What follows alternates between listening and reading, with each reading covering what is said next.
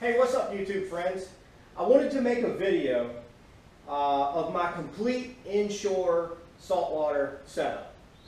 Um, if you've been fishing for a while and your kayak set up and you know exactly what you want and what you need, maybe this video is not for you. But a lot of times when I'm fishing, I'm not the most experienced fisherman, but most of the kayak fishermen I see out like on the sound in the, in the water, at least appear like they don't have as much experience. In other words, I see them come out with kayaks and they're kind of not set up right. Maybe maybe they don't have a net or um, just rod holders to keep uh, their reels out of the salt water. Uh, there's nothing wrong with that. We learn as we go, but that's what I that's why I wanted to make this video for kind of all my newbie friends out there. Kayak fishing is a great way to experience the outdoors. It's it's fishing that's more intimate because you're down there getting wet in the water. Um, I'm going to show you the layout on my Slayer Propel 13. If you have a Slayer, this video might be of particular interest to you because you might pick up some tips and some rigging uh, methods that you can use. But there, there's a lot of the stuff that, that you can use on any kayak. I didn't come up with all this. A lot of this I got off YouTube, just like you're watching me on YouTube. I saw other kayak fishermen that did certain things. It just worked out real cool. Um, but so, so if you see something you've seen before, you know, I'm not trying to, uh, you know, present somebody else's idea as my own. I, I just want to say their idea was great. I added it to my kayak. I've, I've got this uh, set up like this, and I, pro I don't think I've made any adjustments now for about two years. This is, this is everything that I carry with me inshore. Um, nothing that I would leave behind is on the kayak. And I'm just going to start from bow to stern and show you everything. I'm going to talk about my tackle. I'm going to talk about my fishing rods. I'm going to talk about the rigging of the kayak and the thought process behind that. So uh, stay tuned if you're interested in doing some inshore saltwater fishing. I live in the Carolinas. Um, and so a lot of the places I'm fishing are the, the intercoastal waterway. This is my inshore setup. Uh, so let's do it. Okay, starting here at the bow, I've got this uh, leash that I use primarily for inshore. I don't take it offshore. And, and what is it for? It's for hooking up to a dock. Sometimes we rent houses and there will be a boat dock. So I'll hook uh, my kayak up using this. I use the bungee shock cord. I've also used this before, like towing somebody else on a kayak. Uh, if I, I, when my kids were young, maybe less experienced, I would use that. I can unhook it. I've got two carabiners on here, a decent carabiner, um, and then this kind of cheap Walmart carabiner. As I go through this, you're going to see that I use these for different purposes. Uh, does the salt water tear them up? Yeah, it does. After about two years, uh, I throw them in the garbage. I try to spray them with DW, uh, WD-40 over over time to make them last. But eventually, when the spring goes out of this, because that's what rust, this is all aluminum, but there's a spring in there that's uh, steel, I just throw them away and I go to Walmart and spend $3 and get me two new ones and replace everything. So that's my leash. It hooks up here. Sometimes if I'm standing out, like uh, if I'm standing in the water, a lot of my inshore kayak fishing is not done on the kayak. It's standing in the water to stay knee deep or thigh deep and casting and just using the kayak as a base station and a means to get there. But, but sometimes when I'm doing that, I'll use this leash and then like clip it to my shorts um, to keep the boat from floating away. All right, so moving on. I've got, this is a Rubbermaid, I think it's a 30 quart. I found, for, okay, for Slayer owners, this cooler fits perfectly in here. You, I, I, and look, I've got like a million coolers. If I look back through here, I can see one, two, three, four coolers right now. I found that this particular model of cooler is the only one that fits perfectly. I fit a 24 inch drum in here. I can throw them in here. I like this hard cooler for inshore. Um, I can also put some drinks in here when I head out, but you'll see I have a separate lunch cooler in the back. Um, this is how I rig my uh, bungees. Uh, when I'm driving and I've got this thing on the back of the truck, I can throw these over here. When I'm on the water, I can pull them back like this. I can pop that open and you'll probably see me do that on some of my videos, throw a fish in there and drop the bottom. To keep the fish cool, I use frozen water bottles. Uh, I, I, don't think that that's any type of secret. The other thing you can do is buy, and I don't have any in here, umbrella bags. Get or you don't buy them, get them from Walmart, like the umbrella bags. Like when you walk in, you can stick your fish inside there to throw in here if you are keeping drinks in here. But that's my cooler setup. Uh, when I'm actually on the water, the rest of this leash right here, I throw it here on the left side and just get it out of the way. I just cram it down in there and that's where it sits while I'm paddling so that my line's not getting all tangled up in here. Right here, you'll see an anchor trolley. Nothing special about this, except I'll say this first of all. A lot of anchor trolley systems come with well nuts to put up here because this is a hard place to access on the inside of a kayak. If there's any way you can put a backing plate or washer on here, I think that's great. I had I had well nuts pull out in the ocean one time. You know, there was so much tension uh, where I was anchored off in the ocean and the waves pushing, did it actually pull this thing out and created a little bit of mess for me. I now have a stainless steel backing plate uh, on, on the back of this uh, so that it won't pull out. Um, it was a pain to put in there because I had to like duct tape the plate onto an extension that I reached up in there and had somebody else help me and put the screws in. On my anchor trolley, you'll see that I've got my standard ring and I've got another cheap Walmart carabiner. Believe it or not, I, don't really even necessarily need the ring. I almost exclusively use the carabiner when I'm using my anchor, my, my sand pin and putting down through there to anchor off. If you don't know what an anchor trolley is, you know, just check out some other kayak videos. I don't have the time to talk about that right now, but you can see it runs all the way to the bow and then I can push that anchor pin back here to the stern You'll see this system has a bungee on it, and that's really good if you're putting in the ocean or something where there's going to be waves and pulling like this. You don't necessarily need that for the sound, but, but, but I rig my boat for both. Still talking about uh, anchoring out with an anchor pin. I don't carry an anchor when I go into the sound. Most of the water I'm fishing in is, you know, maybe up to seven feet deep. You know, sometimes I'm catching fish in like two feet, feet of water. It, it just depends. A lot of your fish that are swimming in the sound, drum, trout, redfish, they're going to be in that shallow water. So here's my anchor pin. This is a homemade version. Um, I actually, there's a company that makes anchor pins and they'll sell you a replacement handle. I bought the fiberglass rods. Uh, I bought about 10 of them, sold them to my buddies who kayak fished, and then bought these handles and glued them on there. I used an angle grinder to uh, grind down my point here this thing has lasted for years. You can see the sand has kind of scratched it up, but it's worked perfect.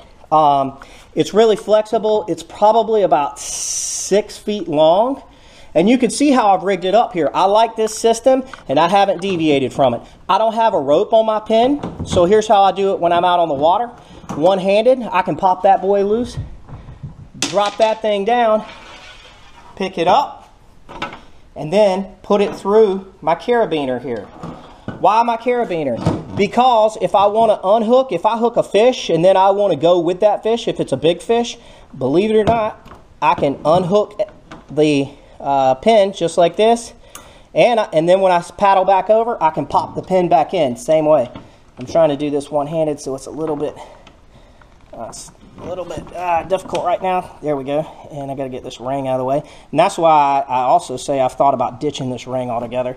The ring's cool, man. You can um, you can hook through it too, but you can't undo it when it's when it's hooked in there. When I'm done with my uh, sand pin, I slide it back in that piece of bungee, and I put it right back on this carabiner. Sorry about that. And you can see that I used a pad eye here to hold the carabiner on the front. The backside, I used bungee and ran it through. Because sometimes, like, you'll get hung up and stuff, and so it doesn't just, you know, yank the kayak. I can feel the tension, like if I'm backing up and this thing gets hung in the grass. But that keeps my anchor pin out of the way. Oftentimes, I will put it on the kayak like this.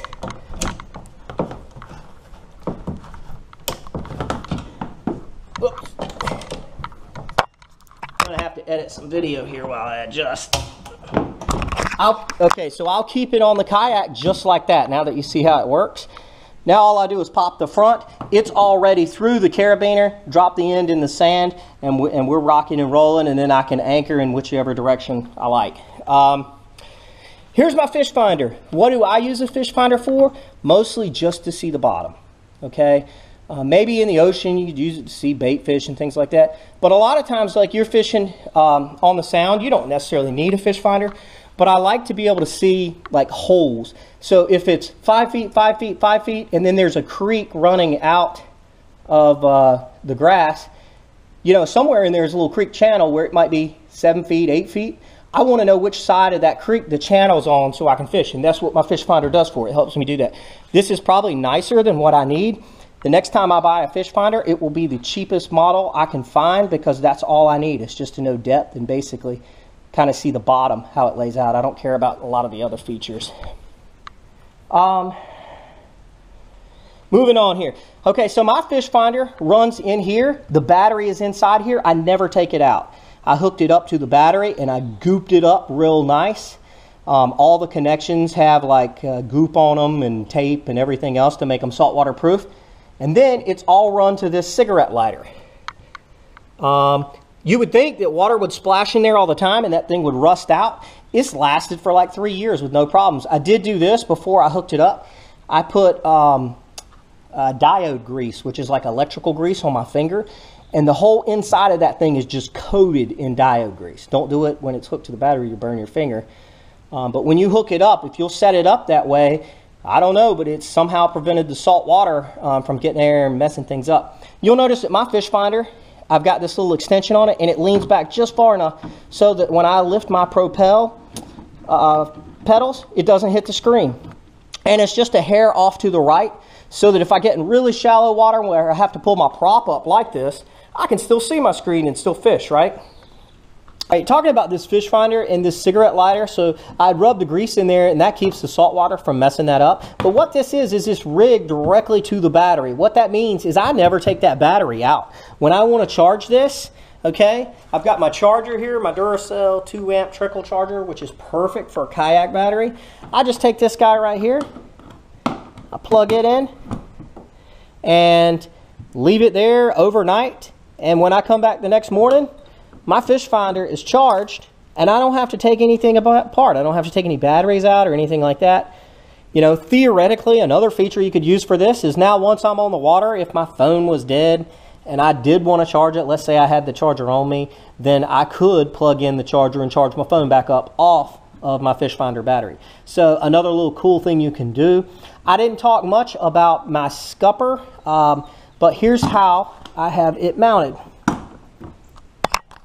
All right, so getting down into the uh, internals of my electronics here, I've got my fish finder here.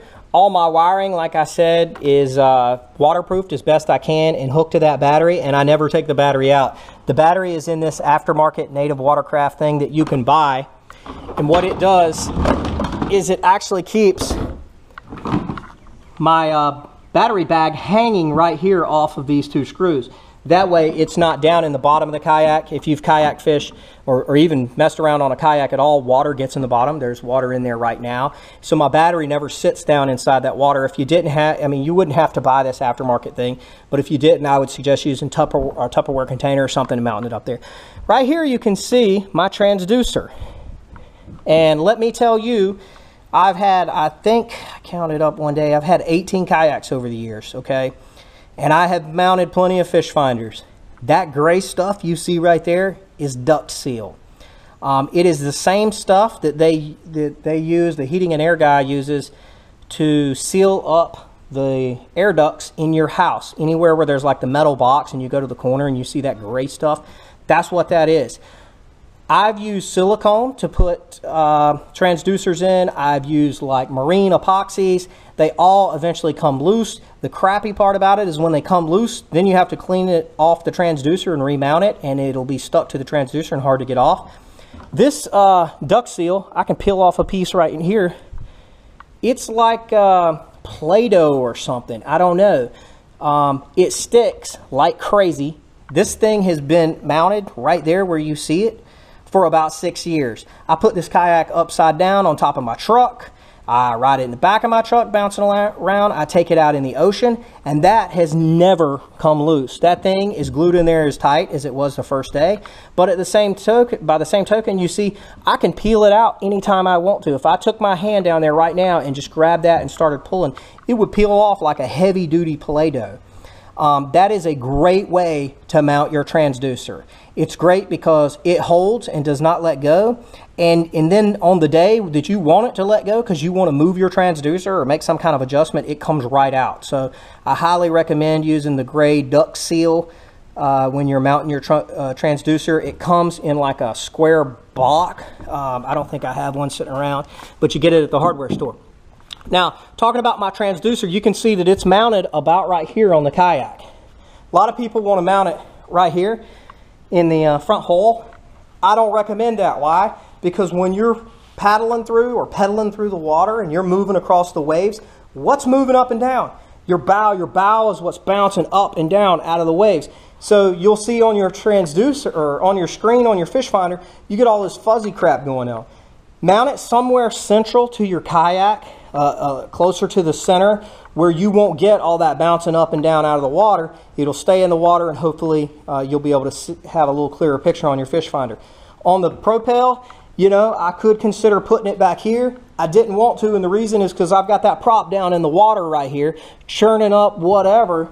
Uh, so I wanted my transducer to be in front of my um, propeller, but I wanted it to be behind the bow of the boat, or at least the part of the boat that bounces up and down out of the water, so that I can get a nice clear reading all the time, whether I'm moving or sitting still, or whether the water's calm, or whether there's waves coming and hitting my boat. So that's kind of the internal workings on my uh, on my fish finder. Uh, a lot of people, when you buy these fish finders, you know they have a fuse on them, uh, and that can get kind of confusing. I've never used a fuse, okay, and I think I've had three fish finders mounted on five kayaks over the years. Never had a problem with the electronics on a kayak making any type of surge or anything that ruined a fish finder. If you're going to ruin a fish finder on a kayak, you're probably going to ruin it because salt's going to get up here in the working head and ruin it. Uh, but I've never had a surge. You know, on a boat when you when you're running a battery and you've got like cranking amps going on and like all this electronic stuff hooked up on a big boat, I can see why you'd have that fuse.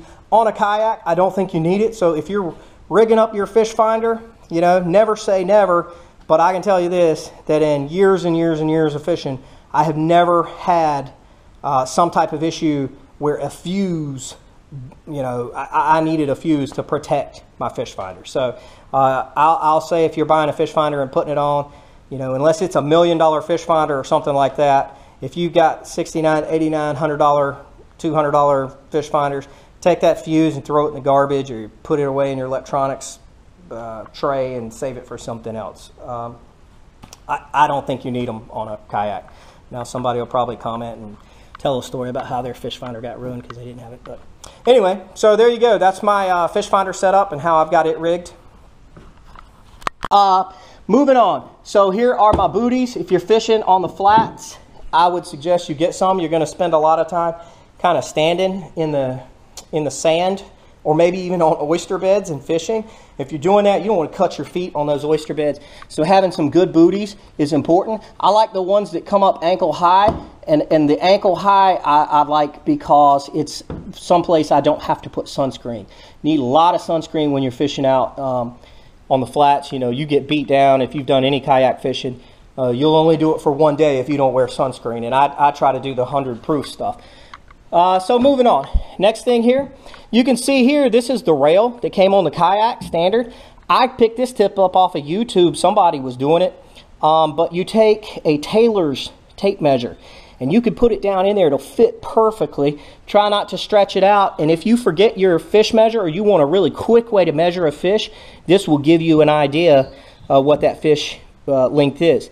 Um, the other end of it is that uh, it's it's the tape that's in there. It's not cloth. I got it from Walmart, I think. It's like a plastic coated cloth. So you take these screws out, put it down in there, drill some holes, put it down, and you'll never have to mess with it again. And you'll always have a, a uh, tape measure with you um, in case you forget yours. My fishing rod mounts. I use Scotty mounts, you know. There's a whole lot of other mounts that'd be really great. I think somebody asked me a question on one of my other uh, YouTube videos about how I have it mounted with two screws. That's it. I don't, you know, I don't have any screws in here. I have these two screws. That's all I've ever needed. Um, you know, that's how rails are made. I mounted it on this side because I figured the fish torque would be in this direction and not the other way. Um, plus, it pushes it out and gets it out of the way. But I use these Scotty mounts, dropping them in here. Bam, there I go. Um, talking about my fishing rod mount. So when you buy the regular Scotty, you've got this piece on this piece. And so your rod holder is about this big. The problem with that is that if you put any type of fishing rod in these things, and this is a fairly small rod, you got the butt of your rod hanging out. So when it's mounted down here, that butt is all in your knees and in the way, and I see a lot of people fishing that way. If you'll go out and buy this, is this the 10 or 12 inch extension? And get that rod on out there a little bit. Now all this space is free for pedaling, for tying lures on, for whatever. And it just gets that thing out where I can see it. If I want to move and troll, I can pedal my kayak or paddle and get this thing out of the way. It also gets a little higher off the salt, gives you a little uh, a little more flexibility in moving this rod around and setting it up how you want to. I only use one of those when I'm inshore. I only use one of these. Um, I do have two. Um, you know, I keep it about right there. Sometimes I just throw it on top of this crate back here. You can see I've put some pool noodle on there. Anything you don't want to lose kayak fishing, and I've lost one of these or two of these before. Um, throw a pool noodle on it, and when you drop it in the water, it'll float. All right, moving on. Um, talking about my tray here, another tip I got for Slayer owners, and I'm going to push this guy out of the way. Um, if you uh, have a Slayer and you have this dashboard, drill little holes. There's one hole here, one hole here, one hole here. You see that hole? and then a hole here and a hole here. That allows, like when the boat goes by and splashes some water in here, you don't have standing water sitting here. The water will go ahead and drain out. A lot of times this area will have a drink in it. It'll have fishing lures that I've taken off or put on, and I don't want them sitting there just being drenched in salt water. A fish rag, of course, you need that. I use it in the meantime, like driving down the road to put under there so I don't have a lot of shot coming down on here. Um, next thing, Got this off of Amazon. It is a plastic holster. Um, it can be used to hold all kinds of things when I'm fishing. It has held these pliers before. It has held these fish grips before. It will hold a knife if you're cutting bait and throwing that on rigs. And you know, it kind of keeps it out of the way so you don't cut yourself. But it's handy for all kinds of things. I don't permanently store my pliers there, but I do like having it because when I'm working, tying a lure, I just took a, a hook out of a fish's mouth or something. I don't want to throw my uh, pliers down in the salt water because usually there's a little bit of standing water down in the, in the bottom of your kayak. Um, I can throw them in that holster and it will keep them up out of the salt water until I'm ready to return them to my little caddy over here. Uh, talking about scuppers. So you can see this kayak has one, two, three on each side. There are six scuppers in the cab of my kayak. When I'm fishing inshore, and this is inshore only, unless it's rough, I keep them uh, corked up like this. That keeps the salt water out. Uh, I use a sponge if something splashes in and gets a little bit in there. If I get a lot in there, I'll just pop one of the front foot corks and uh, let it drain out. But it keeps things dry for me inshore. Now, when I go in the ocean, I absolutely take all of the scuppers out. In the front, I've got a scupper hole here.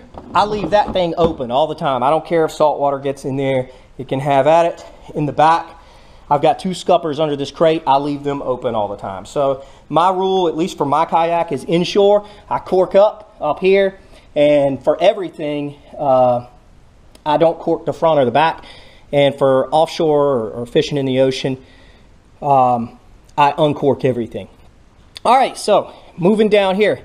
Um, your Slayer comes standard with this uh, fishing rod holder that's right beside you. Uh, the, the in-hole mount. It's really awesome. What I use it for is when I catch a fish and I need to get the rod out of the way so I can start working on getting the hook out of the fish. I can put my rod in there. I can also put it in there like if I'm tying lures on. That rod would just sit in here like this. I don't really fish with it there. It is a staging location while I tie lures on or do what, whatever else I need to do. Throw that back in the tray. All right, so moving on here, you can see uh, I've got on my Slayer, I've got this little uh, nodule here. These are great for like mounting cameras. I've got a GPS that sometimes I can mount on there, like if I'm going offshore and I want to go to a reef and that reef's not marked, I can use a GPS, get the coordinates, and I got a little handheld that can sit right there. It's also neat because I can, it's just something to grab. Like sometimes when I stand up on my kayak, it's just something to grab onto to kind of keep some balance until I get up. Uh, so it's neat having that guy on there. All right, talking about my little caddy here. This is uh, this is some aftermarket stuff you can get from Native Watercraft. This is exactly what I carry. Fish grips. Yeah, they're absolutely necessary. Most uh, fish in saltwater have teeth. Flounder have teeth. Uh, trout have teeth. So if you're trying to grab that fish's mouth to get a hook out or just to take a picture or whatever, these fish grips are great. They make them in the small and the large. I like the large because you, uh, you know, if you catch a, better to be prepared for the big fish than not prepared. Pair of pliers, I think Berkley makes these, just a standard this is seven or eight inch pliers. Um, they're going to rust. Uh, these are steel. I like steel better than aluminum. So I just consistently spray them with WD-40 and then I clean the rust off and spray them again, spray them again. Got me a little uh, hook removal tool. Sometimes your flounder will swallow these, uh, swallow these lures or hooks and get them pretty deep in them. It might be a little small flounder, uh, smaller than you can legally keep, and so you can use that to de-hook them. I have some scissors here. They also rust all the time, and I have to clean them up. But sometimes I, some of my rods have braid on them, and if you've ever tried to cut braid, you know, it, it can be difficult to do with like a, a, regular pair of snips. So that's what they're for. I also use them to cut line because they're so convenient. My last caddy I used to put 100 uh, SPF sunscreen, and I never put anything but 100 in my kayak because I don't even know if you you know, it, may say 100, you're probably in reality getting about 80 protection, so I use 100 all the time. Um, another thing on my seat, you see I've got this uh, little gear keeper with uh, a pair of fingernail slips, snips. They're stainless steel, but you can see nothing lasts in the salt. Um, and that's what I use like when I'm clipping. So I got that rod mounted here, I'm tying lures on. I can put that guy up here, clip the line, let go of it. It's not going in the salt water. Believe it or not, the gear keeper holds this thing just high enough where it doesn't dangle in the bottom of my kayak and get in the salt water. Now, over time, it's going to get wet like everything else. And so that can cause, uh, cause them to rust like that. All right, moving back here. Here is a, I forget what this is called, a clam line keeper or whatever. Either way, uh, if you're working your uh, anchor trolley here and then you want to work it to the back and you want to that thing to be stationary at the back. You can take this and do that right there and that line's not going to move. You could also for a hasty anchor if I did have an, a true anchor in here you could use the line and fish it through there. Also my bait bucket I could fish the line through there to hold it but that comes uh, comes in pretty handy for all sorts of things uh, on the back of my seat here, you can see I've got a, a kind of El Cheapo knife. Um, why do I have this particular knife back here? I carry two knives on the kayak. There's one here on my tray and one back here. Uh, both of them are inexpensive knives, but I just carry two because sometimes there's a chance I could forget this one or I just need to cut bait really quick. And so I've got that second little knife right there. It rusts all the time. I just keep spraying it with WD-40 and uh, I keep a rough edge on it. So sometimes I use a file to sharpen it. Uh, most of the things I'm cutting are either line or cutting up bait fish and that rough edge seems to work perfect. I've got this little shorty Attwood extending uh, paddle. I use this because you know on the um, on the Slayer you've got a, a pedal system and sometimes I just want to move a little bit to the left or the right and I don't want to make like a big drastic movement where I'm going to unhook and do all that. So I just use this as a hand paddle either to push in the water or let's say I drift over close to the grass and now the grass is like sticking me in the side and stuff and I'm getting tired of that. I'll use this to push off the bank. It extends. I hardly ever use it in an extended way, but, but there you go. A fish measurer. Um, if you want people to know how big the fish you, you catch are, you'll need one of these. Like I said, I've got this tape measure here. But if I want to know exactly, I can use this. I also take a picture of the small fish I catch just to uh, kind of remember them by, I guess. I keep that guy right there. In, in mentioning this, so my crate tie downs, um, uh, you know kayak fishermen everywhere use crates. I like to hook, I put these two pad eyes here to hook instead of hooking here. The reason I did that is when it's hooked here, the, this bungee is across here, and you can't use this space here. This is great space, okay? Because when I got something long like this that won't fit anywhere else, that's a great place to keep it. And so by having these pad eyes and bungeeing this in right here, I kind of make use of some of this side space that I might not have otherwise. All right. Moving on, my bait bucket. It's a standard Frabill, uh, was it slow and troll or whatever. Um, this bait bucket, I'll tell you this, if you're gonna use one of these, get you a net, bend it because it won't fit in there fully extended, throw it in there and you will you'll lose half of the bait fish that you lose if you're trying to reach in there and grab minnows, reach in there and grab shrimp. Uh, if you've ever tried that, there's no way you can start with 10 minnows and fish 10 minnows. If you're using your hand, then at least two or three of those will escape out of your hand while you're doing that.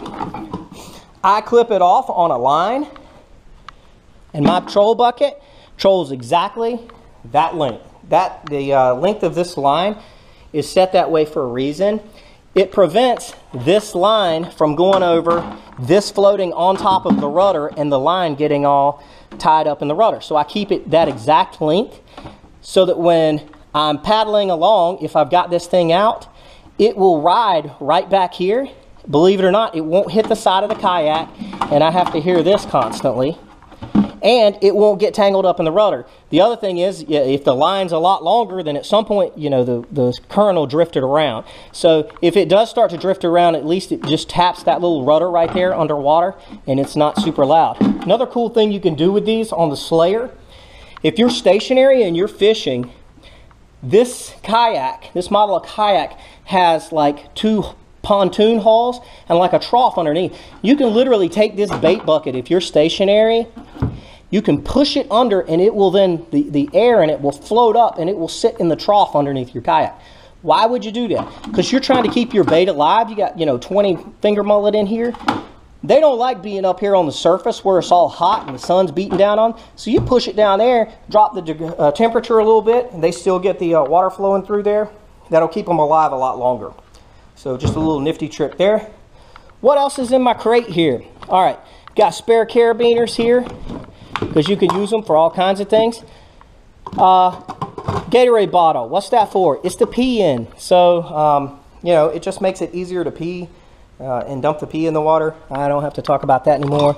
I got a place to put my phone. I painted the inside of this white. You can see I do that because the sun beats down on it and it gets like crazy hot in there. So when, when I painted it white on the inside, it doesn't happen.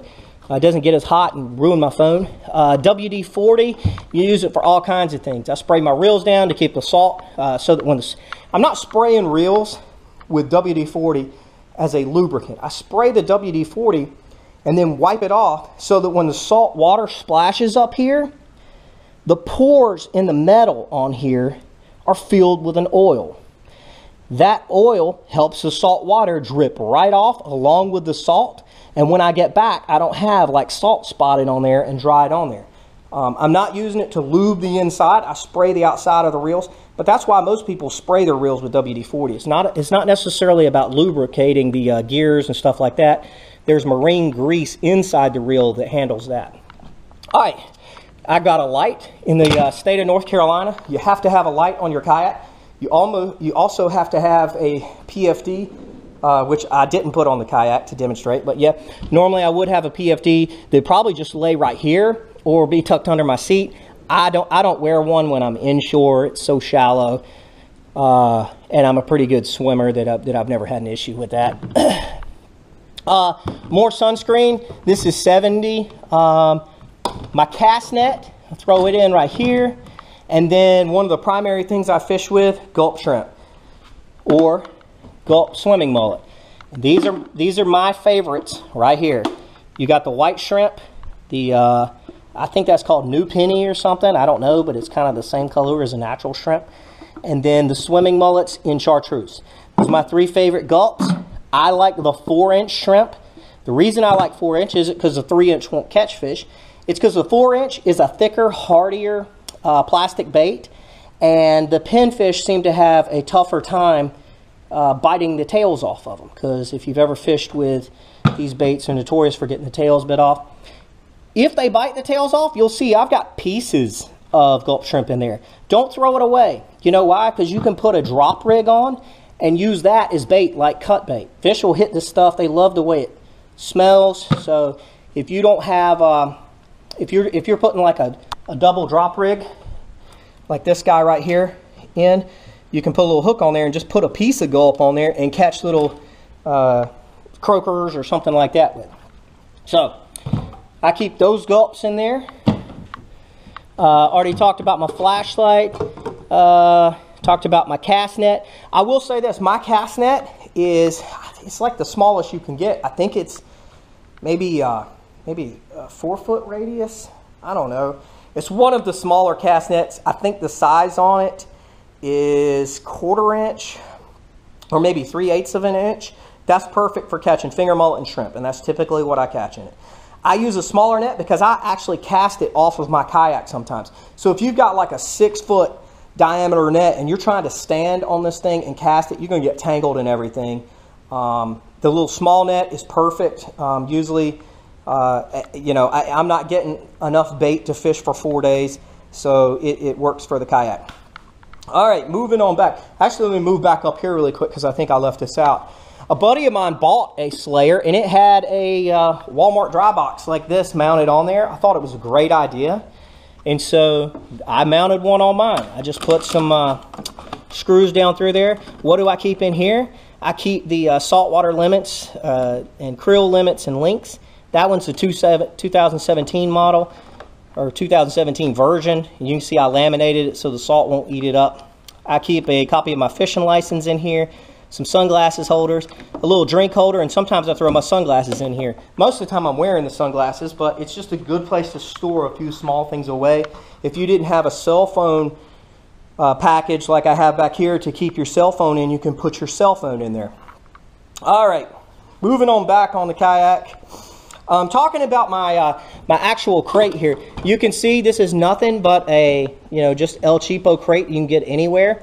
On the bottom, I put like half inch camping uh, closed cell foam, or is that open cell foam? Whatever. It's like the foam padding you would buy in the camping section, those blue rolls. Same stuff as this. I put it underneath there. It keeps things quiet, keeps it from bouncing around, and it just helps conform you know, the bottom of the kayak has these little ridges and stuff. It just helps the bottom of this thing conform to those ridges over time, and it makes it a little more stable than if it was just sitting up on top of there with the hard plastic. I also put some, uh, this is like patio waterproof, weatherproof carpet, that, and it's just sitting in there. I put that in there so that when I chunk stuff back in here, it just, you can see it's pretty quiet. You know, when things are rattling around, when the boat is rocking because the waves are hitting it, this thing stays a little quieter than it probably would uh, without the foam and the carpet in there. Um, I I have these. These I actually cut out of PVC. I used a Dremel or an angle grinder or something to cut these out, these notches. What they do is just when you put a rod in there, it's going to stay in the position that you set it. Some of the rods are a little too long for that. The base of them prevents that from going in. You could make the tube longer if you wanted to uh, really put a stop to uh, those spinning. Not a big deal, but just, uh, just a little nifty trick you can do. Back here, I've got this little pouch. I keep extra line in. I always keep these in the kayak. You can see I've got some 25 yard fluorocarbon and I've got some trilene extra tough low vis green 14 pound mono. Um, that's just some extra line. So if I'm tying rigs on the kayak, you know, I want to put a shrimp on the end of a popper cork. I've got to I obviously add this piece of line so I can pull it off of there in whatever size I want. Um, all right. I'll come back to the rods in a second. Talking about back here, this is where this is the cooler I keep my lunch in. I've got this one and another one of those little playmates where the lid folds back and forth. Put my lunch in there so it doesn't mix with the fish. My uh, net. If you don't have a net, okay, go buy one. The day you need a net when you're fishing and you don't have one will be the most miserable day uh, of your life because you will finally catch that big fish, that keeper that you've been uh, shooting for, and you won't have a way to, to get your fish out of the water and into the boat. So do not go fishing without a net. You can see, I like, this is a, I think this is a Frabill brand. Um, yeah, Frabill. But I like this version because when I'm fishing, it, I've got the, the fish is on in one hand. I can take this and put it in my left hand and use my foot to set the net and then get down in the water and catch my fish, use my foot to kind of work the, the leverage if it's a heavy fish. But when I want to put it away, as you can see, it will fold up into itself. so that when it's on the kayak and the wind is blowing across the water, this thing isn't catching quite as much wind. Also, when I'm casting and I've got lures back here, you know, maybe this isn't getting tangled in with those lures. Um, you see my sponge here. Another thing, you don't go out on the water without a sponge. A sponge is great just for cleaning up fish blood or sand that gets in here. You know, you're going to get out and be throwing your cast net to catch bait fish to put in your bait bucket. You're going to get back in, there's going to be sand and black mud all in the inside of your kayak. The sponge is great for getting that out. Um, or if you have a water back here that you want to get out, the sponge is great for that. Um, here's my general camera mount, okay? And, and I'll go ahead and talk about these as well. I added both of these flush mount in hull uh, kayak um, rod holders. These are great, um, and, and they're great coupled with this. They're not great by themselves because if you leave a fishing rod in there long term, this low to the water, the water splashes up. And if you don't have the rod lifted out, then your reel is going to be down here getting salt water splashed on it all day long. So the extension simply gets the reel high enough so that when waves hit the side of the boat and they're splashing water up in here, they're not getting on my reel and ruining my reel. So, little nifty trick. You can see I spray painted mine uh, lime green here for aesthetics. This one almost always has my camera on it. I like it on the left side because I'm right-handed. So when I'm casting, if I had it on the, the right side there, it'd be getting all in the way of my casting. So I usually leave that one empty unless I'm fishing a rig that's just dropped in the water. Maybe I'm just drifting and there's a flounder rig drifting with me and I want a rod holder. I'll put that one there. I may take this second rod holder and then mount it over here and put the second rod here. So I'm drifting and I've got two flounder rigs, Carolina rigs out, just dragging along behind me uh, on one of these rods. So that's where I put my camera. If you're going to use a GoPro, you may want sound and there's ways to get it. My particular cameras, I keep these closed. I just don't get sound anymore because the salt water will eat them up. The other cool thing, okay, so talking about my camera mount. Uh, actually, let me get back on these. Another thing about these is you can, when you try to put a regular size PVC, it wouldn't fit in there, okay? So what you can do to get this flare on the end, I think Zoffinger is the one that shows how to do this. You use a heat gun on this one and a quarter inch PVC, and I bought the thin stuff here. You can use a heat gun and a Coke bottle, and you take this thing and like, if this is the Coke bottle over here, you see I got some spray paint. You push this when you, before you cut the groove, you push this down on the on the end of a bottle or something like that while it's hot, and you can flare the ends of that thing so that your rod kind of slides in there more easily. Then take a Dremel tool and cut out this little U-shaped place where your rod can ride. Um, I cut that slit in there, and you see I put a little drilled a hole at the end so they wouldn't crack any further, so that it would slide down in there with a narrow end and then get up to the thick end so that it holds in there. When I have my rods in there and I'm just trolling, that's what my rod looks like. And you can see the reel is just high enough to be up off of the water. I use that for inshore and offshore. But I almost never take these things out. They, they are a great, easy rod holder. If you wanted to like put the kayak up on a truck or something like that and just give it a low profile so it's not getting tangled, they're easy to pull out. Also comes with these uh, two little pad eyes that are neat for uh, hooking things up. Uh, you might wonder what this is. Um, later I'll do an offshore video where I talk about my offshore. What I use this for is to clip my um, gaff in. Uh, you could also clip something, you know, I don't know, you clip this thing in, but it's a little setup where you can just strap long things down. Uh, back to my camera mount. This is a simple painter's pole with this Ram flex rod. I don't know what this system is, but Ram has all kinds of stuff. You can buy this particular system to hold your GoPro camera. Obviously, I can turn this, it's not loose right now, and then slide this thing out, and I can get some really tall, long views from my kayak. You know, you can take this thing and then put it in your regular Scotty rod holder and get some views from the front if you wanted but just a, a neat camera system. Um, down here on the end, obviously the pole was too narrow to sit in here tight. So I used some duct tape and some foam, probably the blue foam, I can't remember what kind, or pipe uh, insulation, put it on there and duct taped it so that it would have a tight fitting in there. And that way, like my camera is not just like flopping over to the side and stuff like that. It gives it just enough tension where that camera will sit uh, steady. All right, uh, back over on this side of the kayak. So this is how I lock my paddle in. I've got a two-point system. The reason being is because if you just have it like on this kayak beside me, this is my son's kayak, if you've just got that type of uh, clip that holds your paddle, a wave will inevitably hit your paddle and knock it off and you won't be paying attention and then you'll be looking for a paddle with no way to move around in the kayak. Obviously I could use my propel in here, but I hook it in in two ways.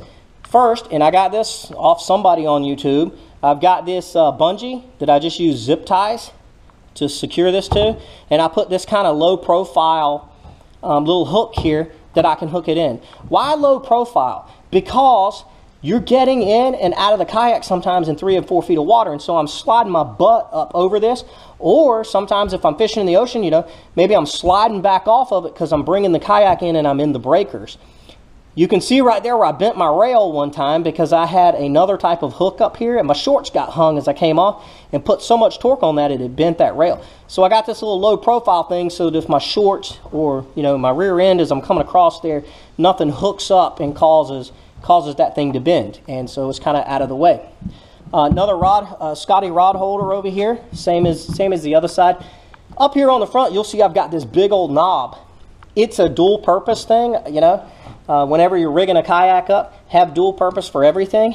A, it holds the front end of my paddle keeps that thing locked in there. So even if a wave hits this, this thing's not coming off. It's not going to flex and get down in the water. The other thing it does, not for inshore, but for offshore, uh, if you're taking your kayak out through the breakers and you're standing in the water counting waves and waiting for that perfect wave so that you can make it out, it gives you a second place to put your left hand on. So, so I can grip this with my left hand and then grip this chair with my right hand and stand beside the kayak while I watch the waves and wait for that perfect moment to jump up on here and take this paddle and start heading out into the water. So it's a handle. It's also a, it secures the um, the paddle, another thing, if you uh, like to film some of your fishing like I do, it gives a mounting point for like a dog bone type uh, GoPro mount like this. So uh, I don't have it on there right now, but uh, just a, a, cool feature. I think that about does it, man. I've almost covered everything. Now let's talk about uh, rods and let's talk about my actual tackle that I carry with me. All right, so coming back here, I'm a fan, I've fished uh, for years now. I'm a fan of no more than three rods. You can see that this thing is pretty cluttered, even with three rods. Four rods for me is too much. So, inshore, I go with three rods, and this is my thinking behind each rod. I've got a bigger rod here. When I say bigger, it's not that much bigger. This is a 4000 series. Uh, this is a sweep, I think is a Shakespeare Sweep Fire. I've had this reel forever. No, Daiwa Sweep Fire. Um, this rod, I have a flounder rig on. And you can see uh, that's what I'm going to use to fish um, finger mullet that I catch on the water. Uh, a cool thing I like to do when I'm putting my flounder rig on and I'm floating around out there is I take the hook on the end here and I'll unhook it. And there's my Carolina rig. And I like to wrap around the back of this rod and then come back. What that does is, geez, I need to set this thing down so you can see it. If I take this and I decide just to hook it up and hook the hook up here, I got this weight up here and as I'm paddling around, this is what I'm hearing all day long if I'm not fishing this rod. So by taking this down here, wrapping it around the back end of the reel, and then coming back up to hook this, I keep this weight low down here and I don't have to listen to that all day. The, the Carolina rig is pretty much standard for me for catching flounder and drum. Okay, that's my main go-to. I put finger mullet on it. I'll throw a shrimp on there. I'll throw a small pinfish on there. I'll throw cut bait on there. Um, just a really popular rig. This hook that I have on here, the, the weight is a one ounce egg weight with two beads. If you don't know it, the beads on um, a Carolina rig are not necessarily for the fish to see. A lot of people think they are.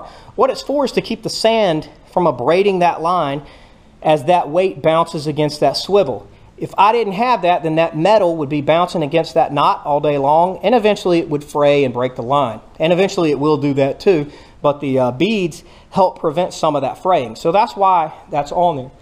My hook here, you can see, is a 3-aught uh, circle octopus hook. Um, I've got some right here. Uh, those are the two brands that I like, Gamakatsu and Eagle Claw Laser Shop, Laser Sharp. Both of them are circle octopus. The circle hook talks about this part right here. A circle hook will be like that. It will be inline. It will not have an angle. And then the octopus is this part right here. Um, the eye of the hook is angled back a lot like that. I like it because when I've got a bait fish on there, you can see that that kind of just lays perfectly in line with his head. What a circle hook's for is so that if that flounder swallows this thing, when you pull it, it comes out of his mouth because as you can see, it won't hook his gullet. As it gets comes out of his mouth and it gets to the corner of the fish's mouth, the drum or the flounder or whatever, that's when it bites. And so that's why guys use circle hooks. It's to help save the fish. Uh, the you know sometimes they swallow your bait before you get a chance. That circle hook helps pull that hook out of the fish's gullet. And if it's a throwback, let's say it's a 13 inch flounder, um, and you're going to put him back in the water to catch next year, then you'll hook his lip, but you won't hook his esophagus, uh, or his, I guess, esophagus or stomach or whatever down inside him. So that's one rod. One of my rods has some, uh, this is an ugly stick. It, it is just a, uh, um, uh, no, not fiberglass. What is this thing made out of? I can't remember. Ugly sticks are notorious for not breaking. So it's not a, yeah, fiberglass rod, not a graphite rod, because sometimes I'm not paying attention. I'll throw my uh, finger mullet on here and just drag it while I'm drifting across the water and maybe I'm fishing one of the other rods. If this line gets hung up, the rod will bend and not break. I like to use mono on this particular rod. I think this one right now has maybe uh, 15 pounds uh, mono on it. I like the mono because it is abrasive resistant. It lasts longer than braid. Uh, it has the flexibility, so if I get hung up and I'm not paying attention, I don't break my line. I can just find no reason why on a Carolina rig you would use anything but mono. It's the cheapest, uh, and so that's what I use on this particular rod that basically is used for nothing except you running a Carolina rig or running a common drop rig like Look at that, I've hooked myself. Like this guy right here, like a surf fishing rig, a drop rig. That's what I fish off that particular rod. My next rod, it does have braid on it, okay? And this is a smaller rod. I think this has like 10 pound braid on it um, with a either fluorocarbon or a mono leader to give it just a little bit of abrasive resistance where the jig is. That is uh, a blue water candy jig head that I painted. I like gold and I like speckles, and you can buy some of them in some of those colors. But if you want to make your own, go to your daughter's or your wife's fingernail polish and take their fingernail polish. Or when you go to the dollar store, pick you up some gold speckled or silver speckled fingernail polish. You can paint your lure heads. I like that color. It's almost like a shrimp color. You can paint your lure heads to look like this, okay? So you can buy the standard just grayed out uh, lead ones, and then you can paint them and put some uh, reflection on them. This blue water candy, I love this, this rig right here, and this is usually what I buy. I like it because it has this big wide hook, which is great for hooking up uh, on, a, on a flounder with his big old wide mouth or a drum. Um, some of the hooks you'll find on these jig heads will be smaller ones. You know, they'll come around and maybe only be this wide. I don't like that. I like that big wide hook. I think I get better hookups with it. What am I putting on there? The same thing I talked about before. I'm putting my chartreuse swimming mullet in the 4 inch. Or my favorite, the white gulp shrimp in 4 inch or the new penny. Put that thing on there and that's my jigging rod. That's why I have braid on it. Um, I won't talk a whole bunch about the difference between braid and mono. I'll say this, if you're a newbie and you've never fished braid, just keep stick to your mono. It's not that big a deal. And braid can be a pain because you have to tie uh, a special knot to connect your mono to your braid. And trying to do that on a kayak sometimes, if that line breaks, can be a mess because you're jostling around in the water trying to tie knots and all that. But this is my jigging rod, so I use this to fish that shrimp. I like the braid because it doesn't flex and I can I can feel this jig hitting the bottom of the sand. When you're fishing this type of lure, you're probably going to be fishing right on the bottom and this thing's going to hit sand over and over. That's why I like the eye of this thing. As you see it's stuck up in the air a little bit as this is going through the water and it's hitting the bottom. It's hitting like this right here. And it's not affecting my knot and hopefully uh, not abrading the knot so that I lose my expensive gulp shrimp lure. My third rod. So I have a, a heavier fiberglass rod for dragging this weight behind me with some heavier mono. This might be 15, might be 20 pounds. And then I've got my jigging rod, which has 10 or 8 pound. It's a little bit lighter because it's not just going to be dragging on the bottom with me not paying attention like that uh, flounder rig is. My third rod is just somewhere in between these two. Okay, this is a dual purpose rod, so I keep mono on it. That way, if I want to run two flounder rigs, I can throw a flounder rig on here. But if I want to throw a top water rig on here because the trout are hitting, right? So my sea trout are hitting, then I can put this popping shrimp cork on here. Um, I forget what types of shrimp these are, but I like it for uh, these uh, shrimp corks because the tail is so flexible that it just has a natural look to it. You could also put a hook on here and put a live shrimp on it and use that. And, and like I said, if I wanted to, let's say I drop this rod in the water and lose it or something, I can, this rod can now double as my jigging rod. Or if I want to run two flounder rigs, this rod can double as another Carolina rig in the water. So that's my three rod system. I like my jigging rod to have braid. I like my other two to have mono. Um, and that's my thought process behind having them like that. Okay, so let's talk about tackle a little bit. Me get this guy out of the way. You can see I carry two trays. I keep them in this little caddy underneath the seat. One of them is inshore terminal tackle, the other inshore uh, crankbaits and jigs. And I label them so I can pull them out like that and know exactly which one uh, I've pulled out. I'll take them up here. The first thing I'll talk about is the fact uh, or at least the type of trays that I use. Um, and you can see I use these watertight. I don't know who makes these. Uh, these are Plano, but I think some of the other companies make them as well. They're a little more expensive than a standard tackle tray, but I'll tell you what, you'll get your money's worth in the long run because if you keep the salt water out of here, then all your lures don't rust. You know, some of these lures are fairly expensive. You know, a little a lure like that can cost you 10 bucks. So if you can keep your hooks and stuff in good working order and not have to replace them, uh, then you're going to get your money's worth. I think these things are like 10 or 12 bucks a piece for the trays. So I carry two two trays. One of them, like I said, has terminal tackle. One of them has like crankbaits, this soft bait, and jig heads, the same jig heads that I'm putting in my uh, gulp baits. Um, I'll start here with my uh, jig heads. You can see I've got like this little swimming mullet or menhaden jig uh, that's brand new. I keep a bucktail in here. Um, it's pretty popular to fish a, just like a, I would fish a gulp bait shrimp. That's not a gulp, but you'd put the shrimp on a hook on one of these jig heads like that. It's popular to fish them on a uh, bucktail as well. So I've got a bucktail in here. I've got some uh, like casting spoon type lures. Uh, might use these if trout are hitting uh, bait on the top of the water or I see like a, a school of bait and can tell that something is tearing them up on the top of the water. You can cast these things. I think these are called stingers or something. Cast them a really long ways um, and fish the top of the water.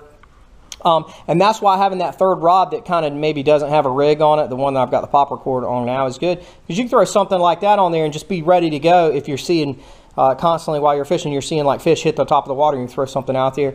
This is little standard, uh, I don't know what it's called, but like really popular for fishing for drum. I think I've only caught like one drum on the, this. I, I don't really fish it that often, but it is in here. I've got a uh, Heddon Zara, what is this, Zara Spook, or this one is a Super Spook.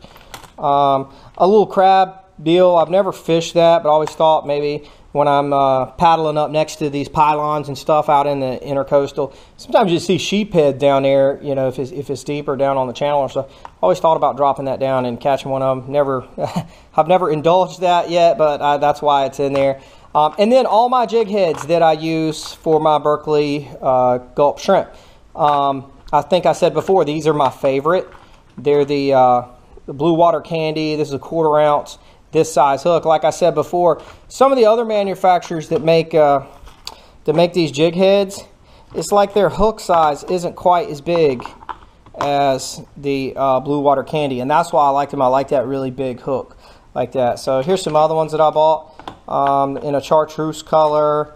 Um, you can see these I painted myself. That's the one that's kind of in the fingernail polish. It's kind of like the shrimp color. Here's a natural, uh, just lead colored one that I bought that I haven't quite painted yet. These are 1 8 ounce. So if the water was like super, super calm and I wanted to fish this, that lighter jig head weight in really, really calm water kind of lets the, uh, the plastic bait uh, you know have more action whereas this might not it, obviously if the water is moving and I need a heavier one then I've got this I think this is a uh, half ounce jig head here so I've got some of these heavier jig heads to get that thing down and, and help uh, keep the current from carrying it off so those are my jig heads that I use on my swim baits my swim mullets and my uh, uh, four inch gulp shrimp um, then, gosh, I got to remember the names of these. You see them, but, but, in the store, but they're really popular. I like them. I like to fish them on that um, popping cork uh, if, if I'm not fishing a real shrimp.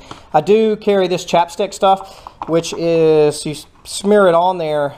This one's made. What is it called? Saltwater shrimp, fish this is the Fish Sticks Original Lure Enhancer. So it is a just a scent attractant that you can smear on there. You can smear it on a hard bait if you wanted to. Maybe get a few extra hits that you wouldn't normally get off of that. Uh, and then I've just got some standard split shot if I want to get a, a, lure down a little deeper or something like that. I've got some uh, snap swivels. If I'm switching between lures a lot, um, and uh, and so like that third rod, I could put a snap swivel on there. I could have this stinger on there, and then let's say I wanted to switch to a shrimp and throw it on there real quick, I could do that. So that's why the snap swivels are in here. Here's my terminal tackle. And, you know, essentially everything in here's kind of set up for like a Carolina rig setup. I use those so often. Um, I pre-tie, so I have my hooks here. My favorite hooks are the uh, Gamakatsu Octopus Circle and the Lazer Sharp Octopus Circle. My favorite sizes are the 3 aught, and you can see this is the 3, and this is the 3, and then the number 1. The number 2 is, is just uh, minute size larger than this, uh, so I like 3 and 1, and that's what I use in the inshore. Offshore, I might use like a, a bigger lure but or bigger hook, but uh, this is what I'm using inshore. Um, I think I talked about it earlier, but I like, you know, the circle hooks keep you from getting, uh, hooking the inside gullet of the, of the fish. Um, the, the reason being, as I slide this along here, it doesn't hook up, right? Only when it goes around a corner does it finally grab, and that's why uh, fishermen will use these. That one's a little bent. Um, but if they're not offset and stuff like that, they're designed so that the fish can swallow them and still pull it out of their throat without hooking the fish. It doesn't hook up until it actually is coming around the corner of their mouth and then catches them. They say a lot of times the circle hooks will hook the fish themselves.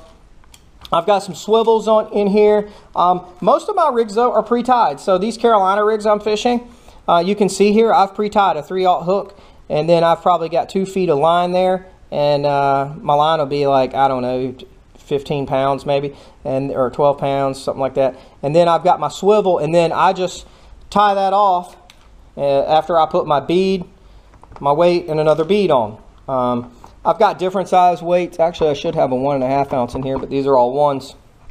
That's the most popular I use on my Carolina rig is that one ounce weight. Uh, usually I have a bigger one and a half in case the water's, uh, uh there's a little more current, more snap swivels.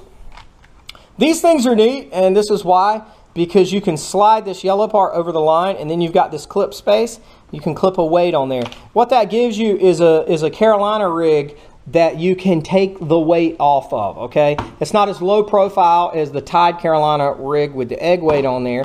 You would be dropping it like this. But if the current's really hard and I want to put a heavy weight on there, you know, sometimes I don't know how heavy I need. So I might need uh, three ounces, which is what this is. And I might need two ounces, which is what this is. And who knows, maybe that current's really, really hard and I want a diamond pyramid weight that'll actually grab into the sand a little bit and hold my rig down there. Uh, looking up here, I've got a float if I want to float something on the top. And then here, I, these are just standard drop rigs, just standard old surf rigs like I talked about over here, you know, where you've got, you tie your line off and then you've got a weight down here at the bottom and then hook and hook. You see these things everywhere. So sometimes I fish those on my, um, on my, I guess my Carolina rig rod, uh, that first rod I showed you, the bigger rod. And so just to keep them from getting tangled up in everything, because like they have, just like it's getting tangled up there. I keep them inside this bag, and then I can cram them down in the bottom of this thing. They don't get any salt water on them. They stay good, and I can put my hooks on top of there and my pre-tied rigs, which usually, you know, I'd have two, at least two of each size of these pre-tied, ready to go. Um, I took uh, one of them off put it on the rod just for demonstration earlier, but I'd have them inside those pill bags. And that's it, man. That's all the tackle that I carry out onto the sound. Um, you don't need a lot of stuff. If, if you're not using it and you're on a kayak, it's just in the way. My popping cork here, it's too long. I know they make some smaller ones, but I like this kind. What is it, the DOA? I think it's called like Cajun Thunder or something. Maybe that's a different brand, but but it's similar to this. I like the ones that are this size, so I don't keep it in my tackle box. I just throw it down in the bottom of my tray when I'm not using it. It, it wouldn't fit in here. But that's it. That's that's the tackle that I use. Um, I'll throw this guy back in here. Uh, two tackle trays. That's all. Um, they, st they stay up under on my seat there so that they're not laid down in the salt water. I think that that Native Watercraft uh, little holster caddy thing that they sell is a really neat idea to kind of keep some of your stuff out of the salt water. Um, and that's my rig. That's my setup. Uh, I hope uh, that you've learned something from this video. Maybe you've picked up a tip that you can use. Um, uh, like I said, all of these tips weren't my idea. I got them from watching other people. I just thought it'd be a neat idea to put together all my, my whole rig and just talk about it. And maybe somebody who's new to kayak fishing or somebody who's old to kayak fishing uh, can pick up something new that'll help them uh, have as much fun as I've had out on the water. Anyway, thanks guys, and we'll see you next time.